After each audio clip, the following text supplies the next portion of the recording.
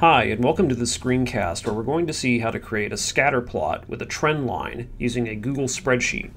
So here I have some data that show the population of Nashville, Tennessee from 1810 to 2010 in 10-year increments. To create a scatter plot of these data, I'm going to do the following.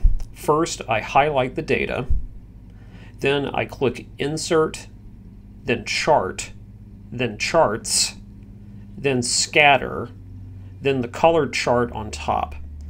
Note that a preview of the scatter plot appears on the right.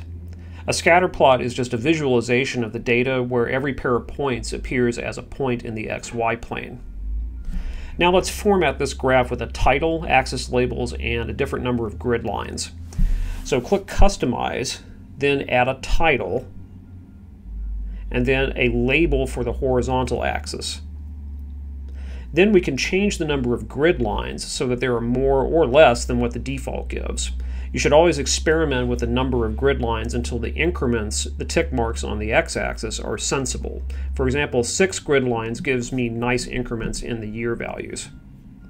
Then go back and select the left vertical axis and repeat this process. Once you're done, you can click Insert to put the chart in the spreadsheet and then drag it so it doesn't cover up the data. So now we have a scatter plot.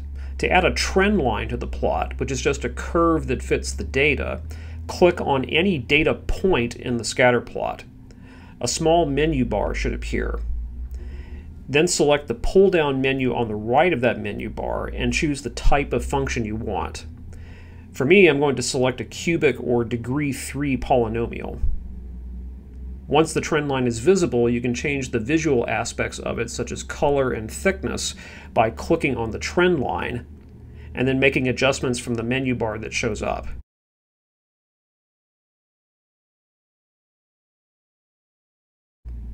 Thanks for watching.